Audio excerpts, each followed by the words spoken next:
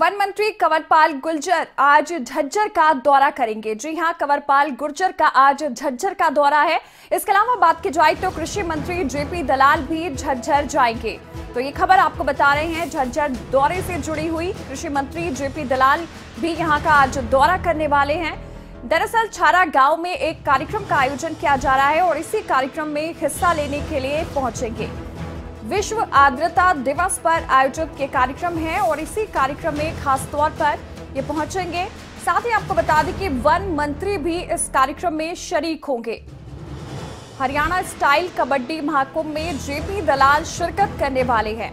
तो आपको बता रहे हैं खबर झज्जर से जहाँ पर हरियाणा स्टाइल कबड्डी महाकुंभ, जहाँ पर जेपी दलाल विशेष तौर पर शिरकत करेंगे। इसके अलावा वन मंत्री कंवरपाल गुर्जर भी झज्जर का आज दौरा करने वाले हैं।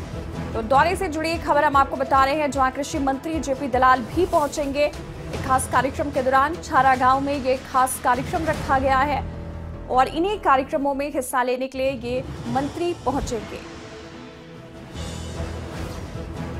दरअसल विश्व आर्द्रता दिवस पर ये कार्यक्रम रखा गया है।